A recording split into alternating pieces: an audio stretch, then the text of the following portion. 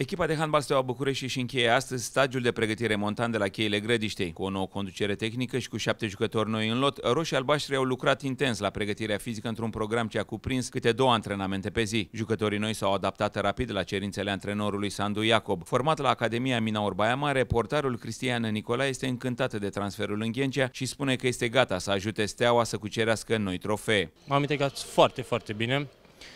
Nu uh, colegii sunt extraordinari.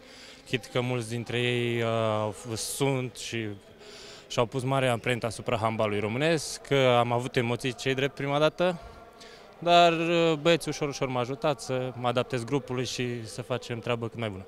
Vă dați seama, fiind așa tânăr la 21 de ani, să primești un telefon cum că te caute cei de la Steaua, primul lucru a fost să, nu știu, să urlu de fericire, ceva de genul.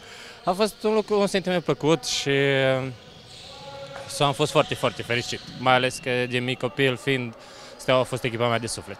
Centrul Valentin Ivancenco a sosit în România de la Tiraspol. Extrem de determinat la fiecare antrenament, Valentin este fericit că a ajuns la Steaua, club unde își propune să facă performanță la cel mai înalt nivel. Echipă foarte prietenoasă, băieți foarte normal m-au primit. Foarte bine, mersi, mulțumesc echipei.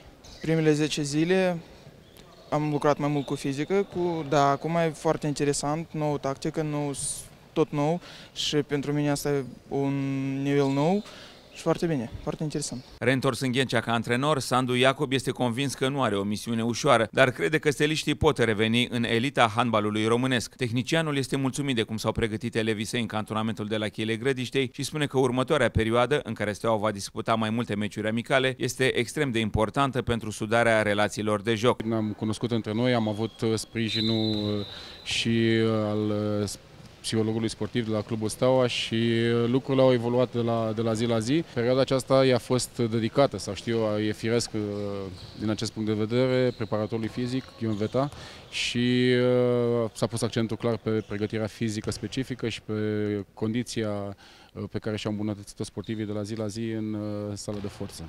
Steaua va disputa primul amical din această vară, vineri 2 august de la ora 17.30 la sala din Chiajna cu CSM Făgăraș. Forța Steaua!